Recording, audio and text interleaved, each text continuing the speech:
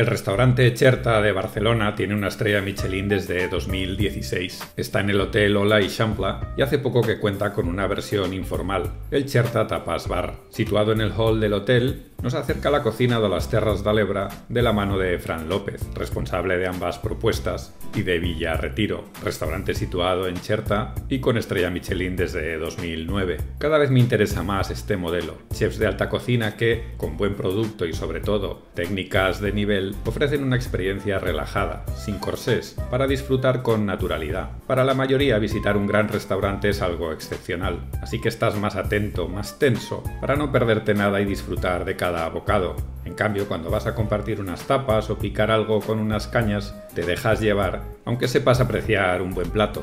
El espacio es abierto, con grandes ventanales por los que entra mucha luz. Cuenta con una pequeña barra donde rematan algunos de los platos, varias mesas para dos, algunas más grandes y una enorme, que se puede compartir. En breve contarán con una amplia terraza en el exterior.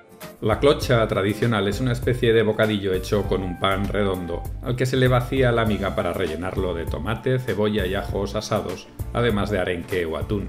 En la tapería de Alcherta hacen una versión, una mini clocha. Preparan una escalivada, es decir, asantimiento, cebolla, berenjena y tomate. Después les quitan pieles y semillas y los pican bien. Para servirlo, lo ponen en una bandeja de horno junto a los filetes de sardina, que son frescos, los limpian por la mañana y los reservan en aceite. Hornean un par de minutos y en lugar de utilizar un bollo vaciado, lo ponen sobre un pan de cristal tostado. Las sardinas están suaves, cocinadas con precisión. Es un bocado crujiente y sabroso, con el toque dulce de la escalivada.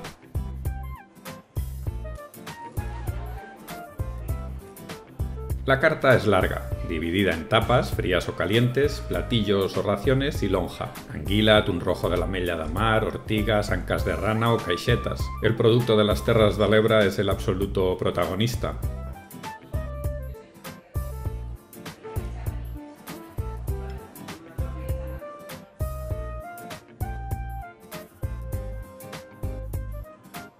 Parece mentira que una zona tan cercana a Tarragona tenga una cocina tan diferente. Nos llega el arroz de alta lebra, pero poco más. Las caixetas son un claro ejemplo. Ocasionalmente se pueden encontrar en algún restaurante, pero es realmente difícil. Es un molusco peculiar, parecido a un mejillón. Se prepara al vapor, a la plancha o en abundante agua con sal, como hacen en el cherta. Las sirven con un aire de mar, espuma que se elabora con lecitina de soja.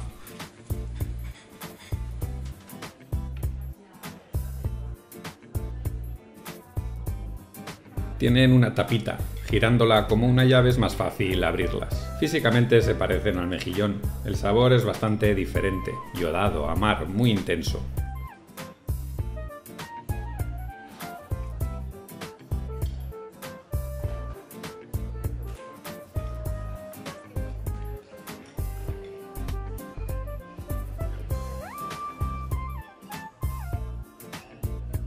Seguimos con unos falsos churros con chocolate. Preparan un romescu tradicional que mezclan con tinta de calamar. Lo calientan antes de servirlo. Por otro lado, preparan una mezcla parecida a la de los buñuelos de bacalao. Por un lado cuecen la patata, por el otro el bacalao, al vacío durante 15 minutos a 55 grados, para que no pierda el colágeno. Después lo mezclan con la patata, huevo y harina de arroz.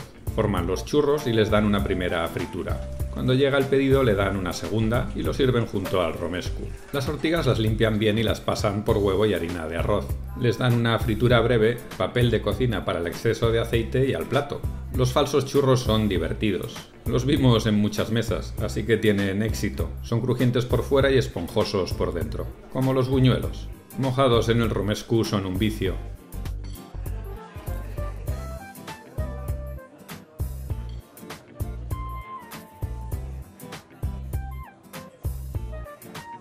Las ortigas, anémonas de mar, también crujientes por fuera, pero son viscosas por dentro, siempre que uno controle la fritura. Ana las prefiere más hechas, pero pierden textura y un punto de sabor.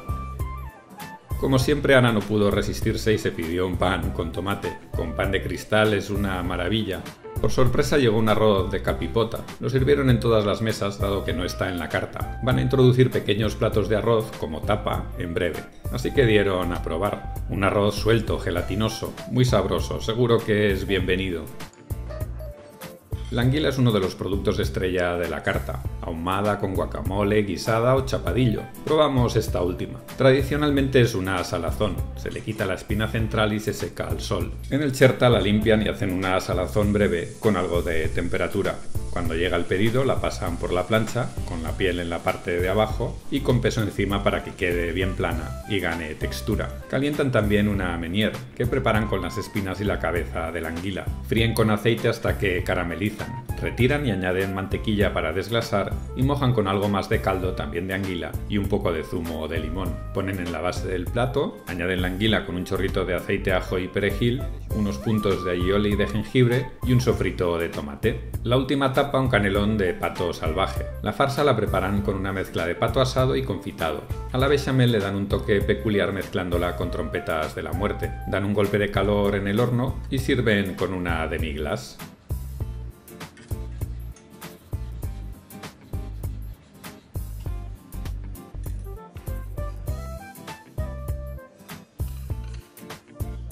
La verdad es que no he probado nunca el chapadillo tradicional, así que no puedo comparar. Es muy curioso. La anguila cambia de textura, ganando crujiente y perdiendo carnosidad. Conserva su sabor, aunque menos intenso. Combinado con los puntos de salsa es un plato muy interesante.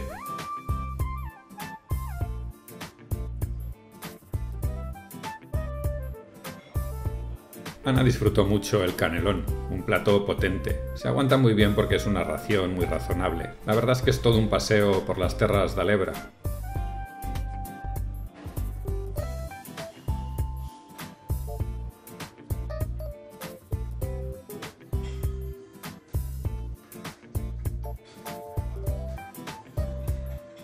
De postre, uno a base de chocolates, con una mousse de chocolate negro, una mousse de chocolate blanco tostado una espuma de fruta de la pasión, unos pistachos garrapiñados y frutos del bosque deshidratados. Y unos pastisets, estas empanadillas dulces rellenas de cabello de ángel tan típicas, que elaboran en el Forn de Baix, en la Fatarella, con uno de los últimos hornos de leña que quedan por la zona. Los disfrutamos mucho. Fran López estuvo muy atento y Neus Fages, que remató todos los platos, también. Hace un par de años coincidí con ella en una charla en la Escuela de Hostelería de Cambrils. Me dijeron que prometía y da gusto ver que acertaron. Lo dicho, todo un paseo por las terras de Alebra sin moverse del centro de Barcelona. Una carta de territorio con una gastronomía rica que siempre vale la pena probar.